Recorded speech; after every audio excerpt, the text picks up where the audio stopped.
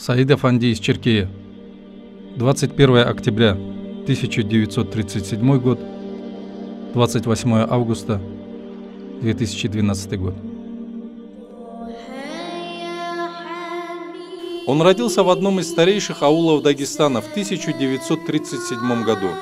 Аули с крепкими традициями, обычаями, красивой историей и мужественными людьми.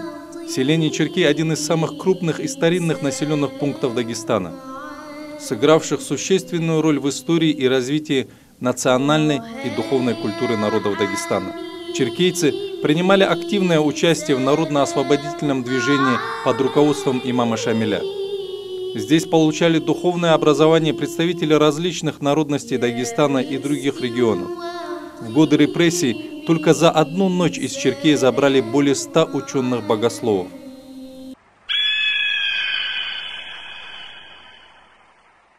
Саид – сын Абдурахмана. Его жизнь во многом не отличается от судеб людей того времени. Те же тяготы и заботы, тяжелого военного и послевоенного времени. В 7 лет остался без отца, в 14 пас сельские стада овец, помогая матери обеспечивать семью рассудительный, спокойный. Его отличал от сверстников прежде всего благородный, удивительный для молодого человека нрав. Чтение Корана без понимания смыслов и намаз – весь багаж знаний на тот период. К глубокому изучению исламских наук он придет много позже, уже в зрелом возрасте, будучи семейным человеком. И вот осенью я начал искать учителя. Патал Хаджиява я хорошо еще не знал, а Якуб Хаджияв жил в Башиюрте. Были, конечно, и другие учителя, но все же удобнее всего было учиться у Патал Хаджи. Я стал держаться его, и основательная учеба началась под его опекой в 70 году, то есть после землетрясения в 70 и весной 71 -го.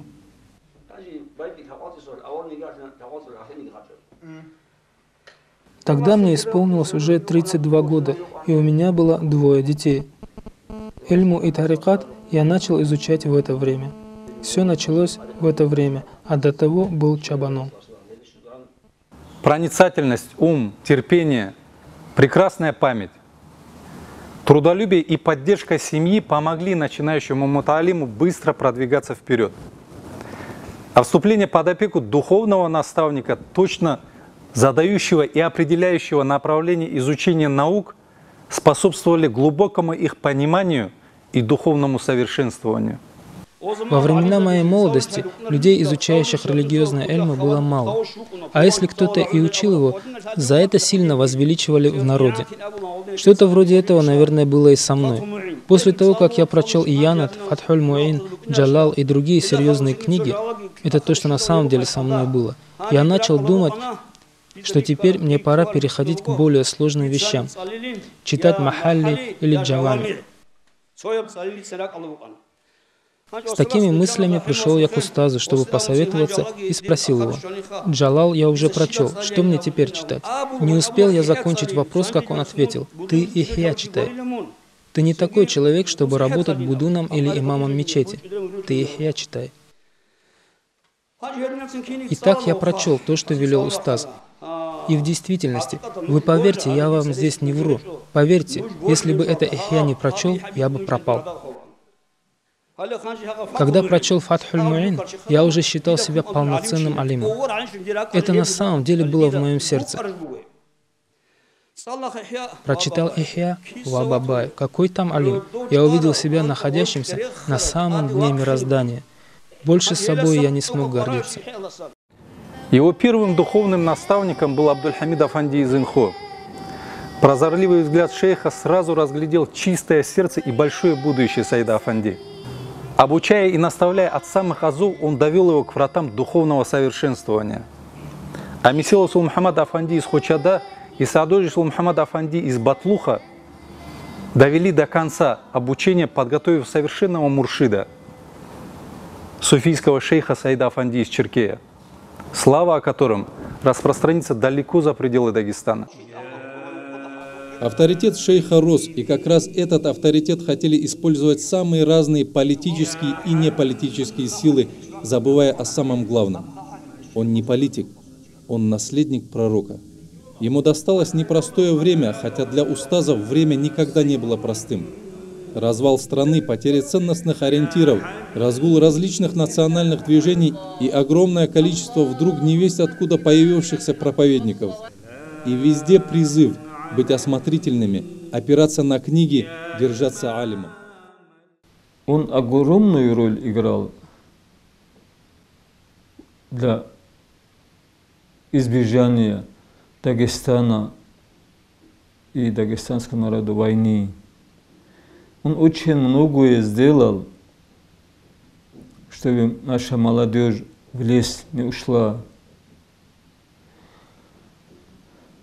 Я думаю, у него своей личной жизни не было. Он работал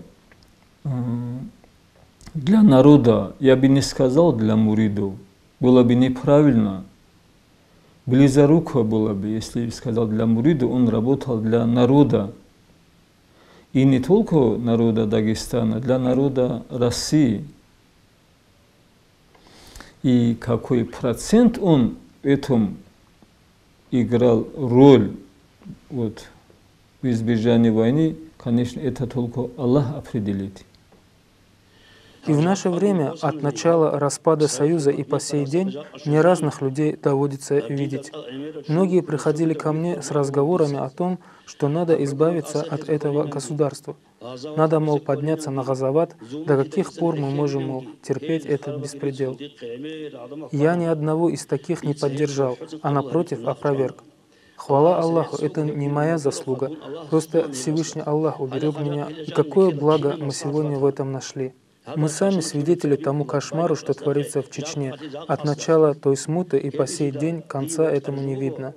Поэтому я хочу напомнить, что мы живем в Ахарзамане, который является временем смут, где береженный убережется, а опрометчивый попадет в смуту.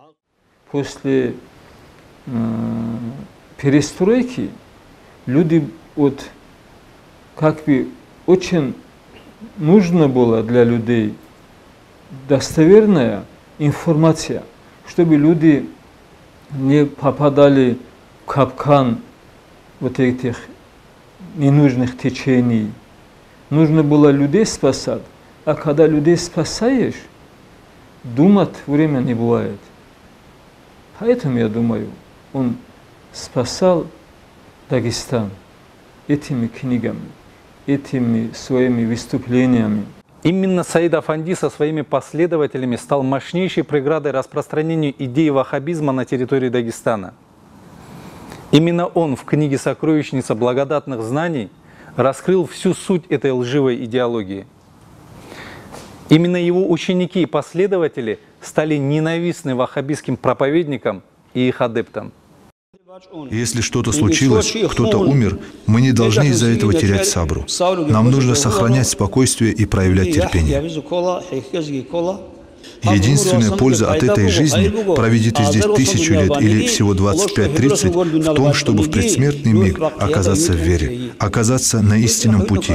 Что еще желать тому, кто в последний момент жизни оказался в вере?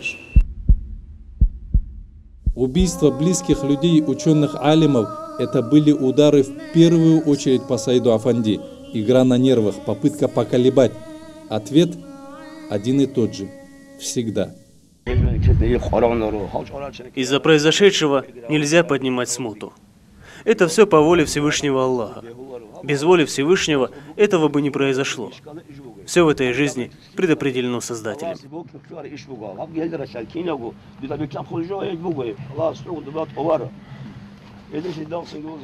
Он стал самым счастливым из нас. И каждого, кто нас будет покидать, мы будем также провожать. И каждый, кто будет подобным образом уходить, тоже обретут счастье.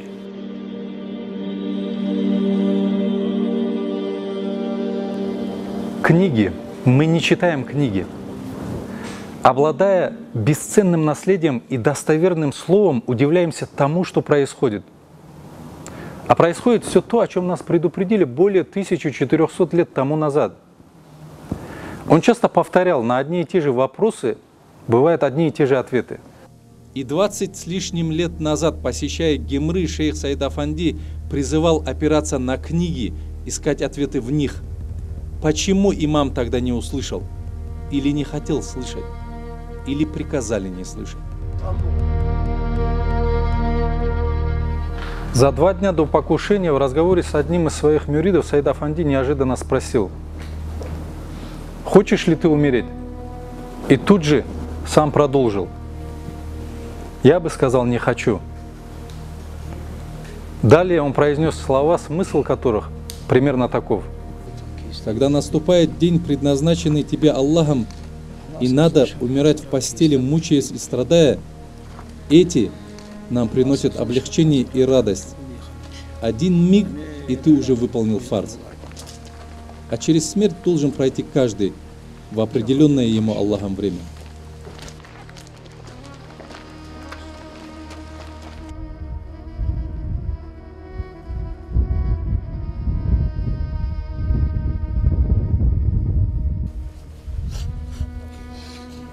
Не знаю, что ощущали сподвижники, потеряв пророка.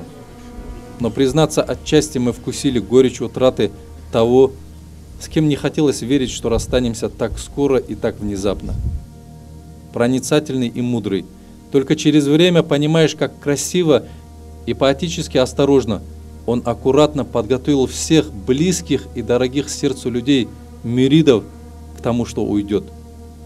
Оставив книги, наставления, укрепив и сделав совершенными своих учеников – Мир за нашими окнами без преувеличения и его заслуга. Всевышний своих святых, любимых забирал мучениками, шахидами. Умар Асхаба, Усмана, Али, внуков пророка Хасана и Хусейна, возвысив и подчеркнув степень своих любимцев –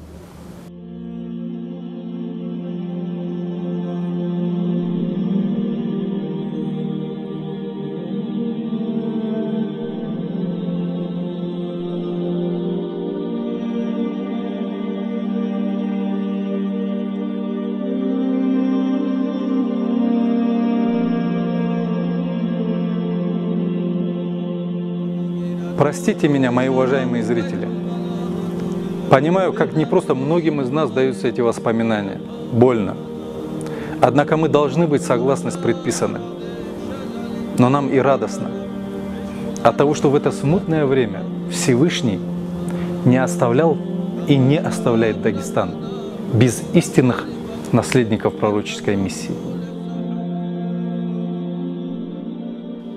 Дай Аллах нам возможности на том свете с ними встретиться, и чтобы Ему за нас стыдиться перед пророком, алейхиссалату вассалам, и перед Всевышним, ему не пришлось. Наоборот, чтобы он гордился своими наследниками, своими муридами, которые продолжают то, что он в течение 25 лет делал – они продолжают худо-бедно.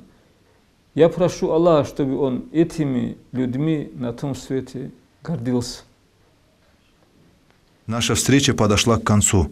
Пусть Аллах, так же как и сегодня, благодаря своей милости, не нашему поклонению и не нашей способности и усердию, соберет нас на Махшаре. Есть надежда. Надеюсь на Аллаха.